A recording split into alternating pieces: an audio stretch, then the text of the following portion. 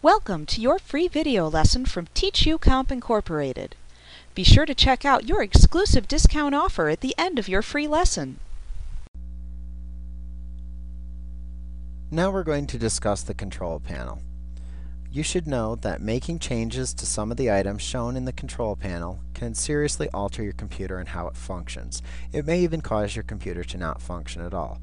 So do not make changes to any of the settings if you do not fully understand the implications of changing the settings. Also, unlike previous versions of Windows, in Windows Vista, when you go to make changes in certain areas of the program that would affect the operation of the computer, especially in the control panel, you may see a small permissions dialog box that appears asking you if you would like to continue.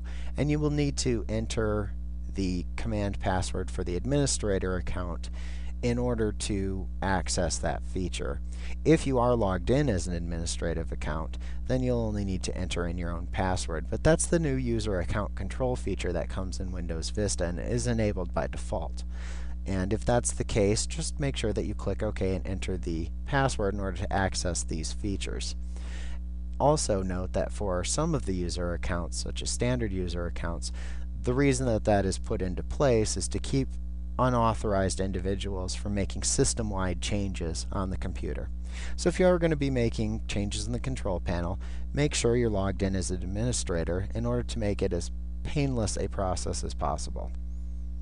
Now the control panel, once again, is used to change settings in your operating system of your computer.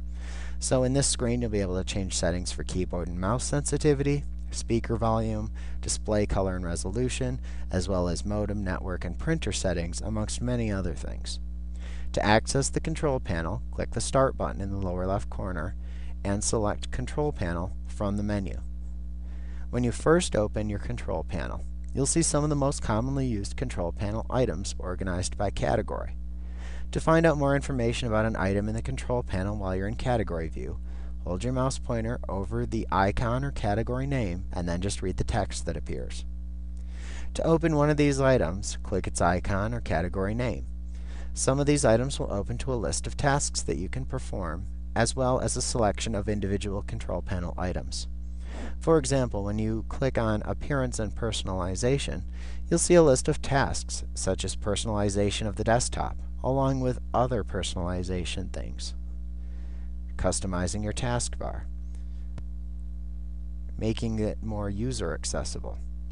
Now you can always click on any of these categories to then open the window. So if I click on Personalization, I'll see these same categories that we had when we were customizing our monitor display.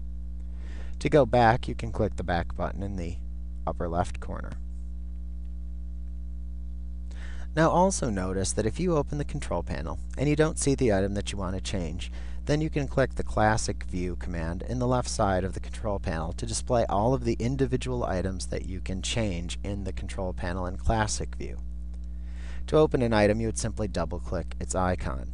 To find out more about an item in the control panel while you're in the classic control panel view, just hold your mouse pointer over the icon and read the text that appears.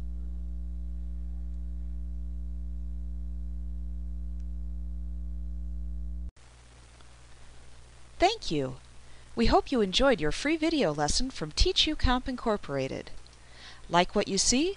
Pick up your copy of our complete tutorial today and be sure to visit us at www.teachucomp.com slash YouTube for your special bonus offer. Our complete tutorial featuring introductory through advanced material is available on CD-ROM or digital download.